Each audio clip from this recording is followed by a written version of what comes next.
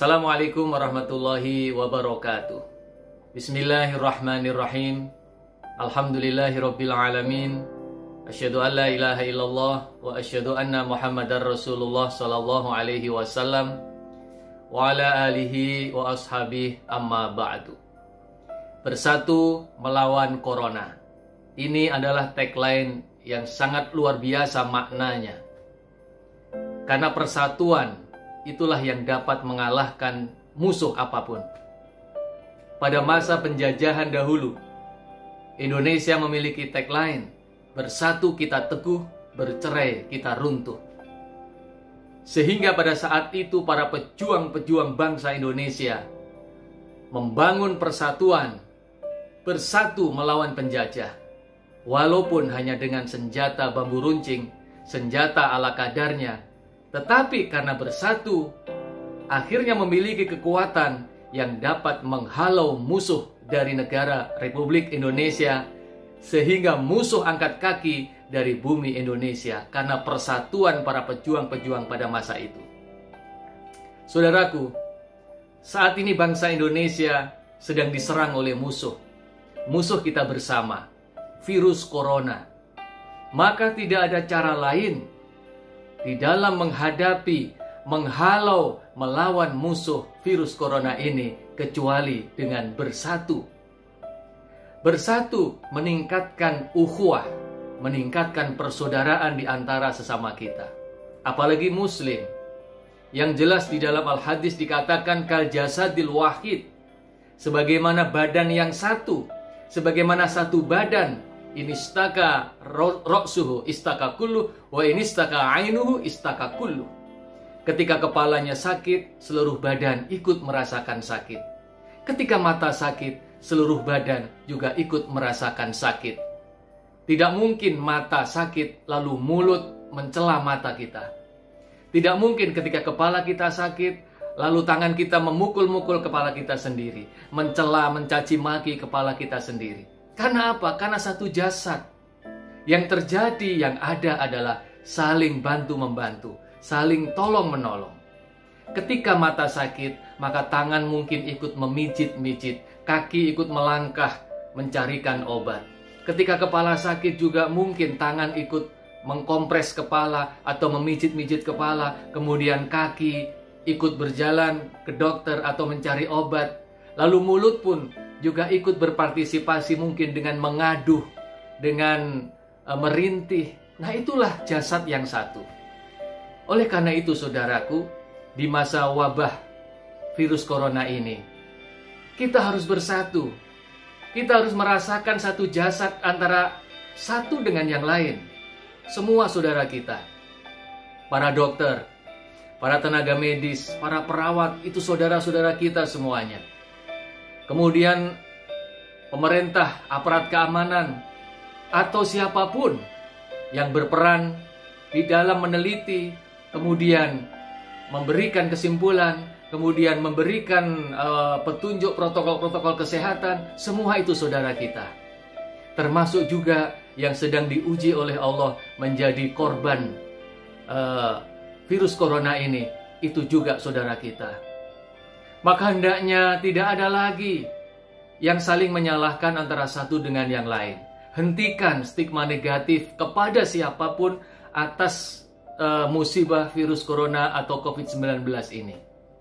Saudaraku, ketika ada saudara kita yang terkena sakit, kebetulan mungkin uh, terpapar virus corona, dinyatakan positif, mengidap uh, penyakit dari virus corona ini maka itu adalah ujian buat mereka.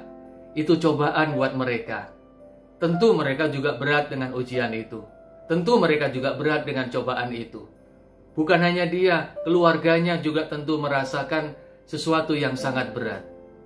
Maka oleh karena itu, kita sebagai teman, kita sebagai sahabat, walaupun mungkin tidak ada hubungan darah, tidak ada hubungan nasab, tapi karena antara satu dengan yang lain kita merasa bersaudara, ukhuwah kita kuat, maka yang terjadi adalah saling mengasihi, saling menyayangi, bukan saling menghujat naudzubillah hingga ada yang meninggal dunia karena kena corona tidak diterima dimakamkan di kampungnya masya Allah naudzubillah min dzalik Itu perbuatan yang sangat berlebihan. Sementara protokol-protokol kesehatan sudah diberikan dengan begitu lengkapnya, begitu sempurnanya. Tapi hanya gara-gara mungkin diri kita sudah dihasut oleh setan, sudah dipengaruhi oleh setan, sehingga menganggap orang yang terkena penyakit corona adalah orang yang berbahaya, yang harus dikucilkan, bahkan hingga tinggal jasad pun tidak diterima, Masya Allah. Saudaraku, janganlah demikian. Kita ini saudara, kita erat tali persaudaraan kita. Apalagi tenaga medis, para dokter, para perawat, luar biasa perjuangannya. Mereka di garis depan langsung berhadapan dengan virus-virus itu. Kita support, kita dukung dengan apa yang kita bisa. Ketika kita mampu dengan harta kita, kita dukung dengan harta kita. Kita mampu dengan tenaga kita, kita dukung dengan tenaga kita. Andai kata kita tidak mampu berbuat apa-apa, mungkin karena kita tidak punya sesuatu yang kita berikan, atau mungkin tenaga kita juga terbatas. Setidaknya kita bisa mengangkat tangan berdoa kepada Allah. Bantu mereka dengan doa-doa kita. Support mereka dengan doa-doa kita. Demikian juga yang sedang sakit yang sedang diuji oleh Allah, diberi cobaan oleh Allah. Allah ingin membersihkan dosa-dosa dia dengan sakitnya. Allah ingin meningkatkan derajatnya dengan sakitnya. Allah ingin mengangkat juga derajat keluarganya dengan sakitnya. Sementara kita yang sehat belum tentu kita bisa memiliki derajat yang tinggi seperti yang sedang diuji sakit oleh Allah.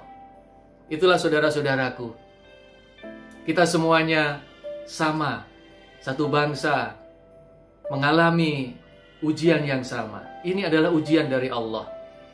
Yang harus kita sadari bahwa datangnya penyakit ini, datangnya wabah ini dari Allah Subhanahu wa taala dan hanya Allah yang bisa menghilangkan. Maka ketika saat ini masih terjadi uh, wabah ini, kita harus yakin bahwa ini adalah bukti cintanya Allah kepada kita. Innallaha idza ahabba qaumun ibtalahum. Sesungguhnya Allah ketika cinta kepada satu kaum, maka Allah akan memberikannya ujian, memberikannya cobaan. Faman rodiya falahu ridho. Barang siapa yang ridho menerima ujian Allah ini, ridho dan merasa bahwa ini datangnya dari Allah, kemudian melakukan ikhtiar yang maksimal, kemudian mendekatkan diri kepada Allah, maka Allah semakin ridho. Mungkin saat ini COVID-19 belum diangkat oleh Allah. Tapi dengan kesabaran kita, dengan keridoan kita, saat ini kita sudah diridhoi oleh Allah. Saat ini kita sudah mendapatkan derajat pahala yang tinggi di sisi Allah. Sebenarnya ketika Allah ingin menghilangkan corona dari muka bumi, mudah sekali bagi Allah. Karena Allah, karena bagi Allah tidak ada yang sulit. Innama amruhu idza arada syai'an ayyakula lahu kun fayakun. Allah tinggal mengatakan kun semua corona di muka bumi bahkan uh, di Indonesia ini habis semuanya pergi meninggalkan Indonesia dan Indonesia semuanya sehat bisa tetapi Allah mungkin ingin melimpahkan rahmatnya yang begitu besar kepada hambanya kepada kita semuanya sehingga Allah biarkan dulu kondisi seperti ini agar kita semakin mendekat kepada Allah agar kita semakin memperbanyak ibadah kepada Allah agar kita semakin bertaubat kepada Allah. Dan nanti pada saatnya Allah akan berikan pertolongan, berikan kemenangan, berikan jalan keluar yang begitu indah kita rasakan. Saudaraku, kenapa orang yang berbuka itu merasa merasakan nikmat?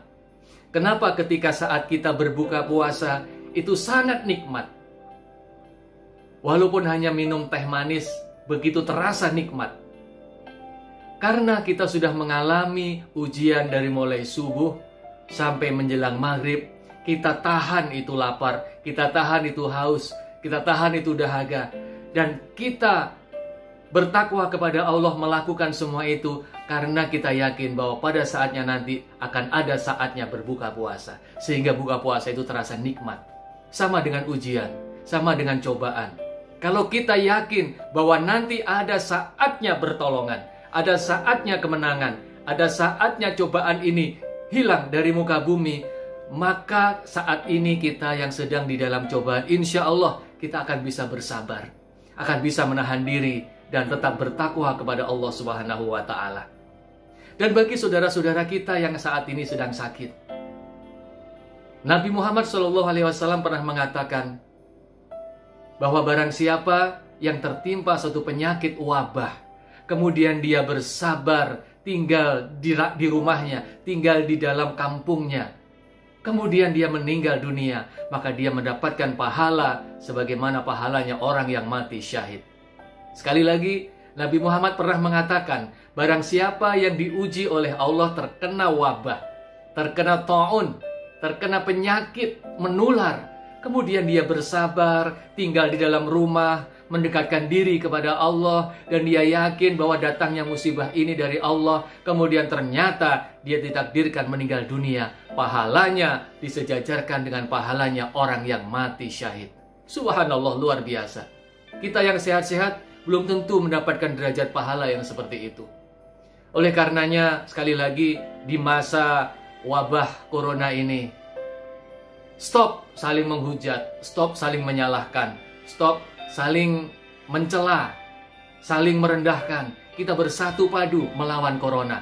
Kita bersatu melawan corona, melawan COVID-19 ini supaya maksimal ikhtiar kita.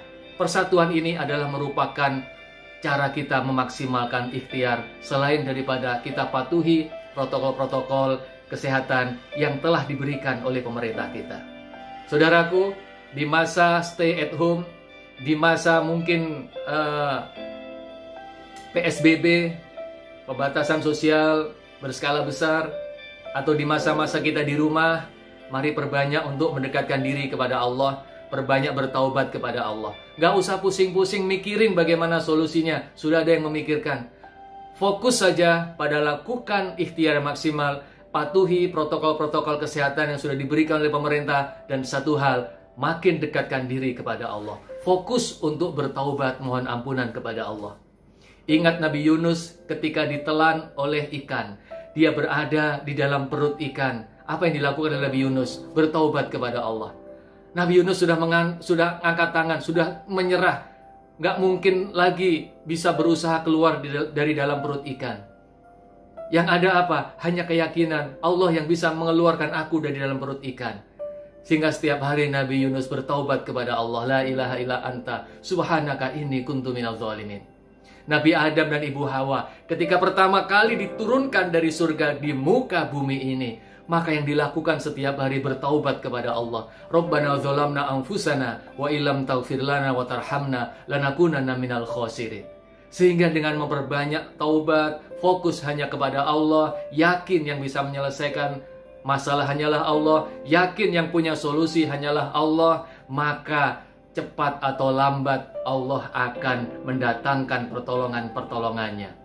Dan di sinilah kita mendapatkan dua kemenangan kemenangan pada saat kita ditolong oleh Allah, kemenangan nanti pada saat COVID-19 diusir oleh Allah dari bumi Indonesia dan kemenangan yang kedua adalah kemenangan kita sudah berhasil mengalahkan ego kita, mengalahkan hawa nafsu kita, kita berhasil bersabar, kita berhasil mendekatkan diri kepada Allah dan kita berhasil mendapatkan ridho dan kasih sayang Allah.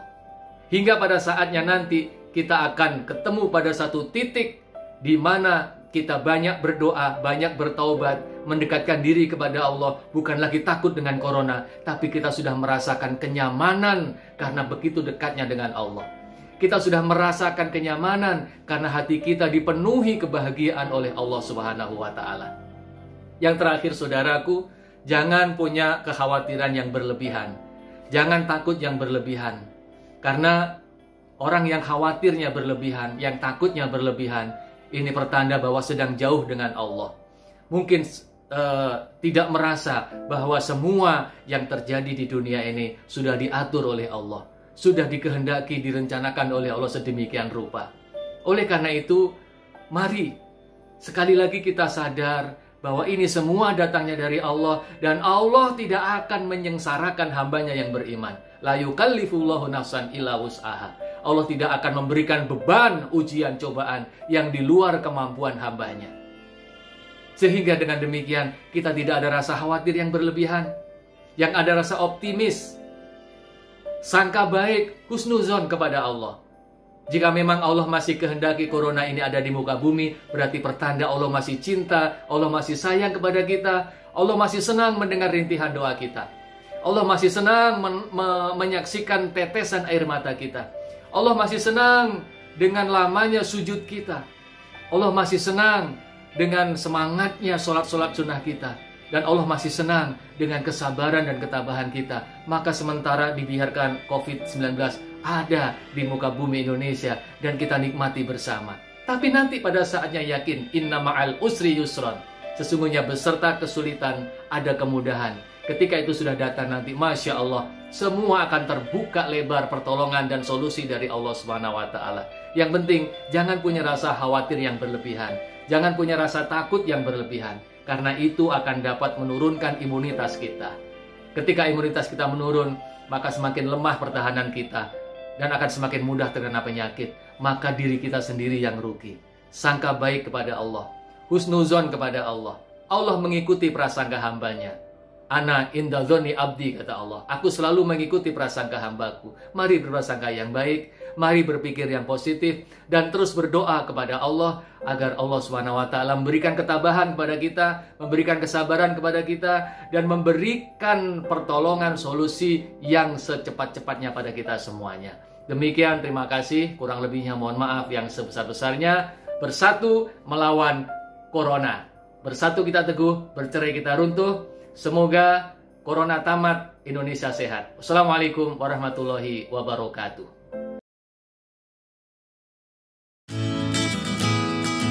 Alhamdulillahi jazakumul khairah telah menonton video ini. Jangan lupa klik tombol subscribe untuk menunjukkan dukungan ke channel LDI TV dan klik tombol lonceng untuk mendapatkan update video terbaru. Wassalamualaikum warahmatullahi wabarakatuh.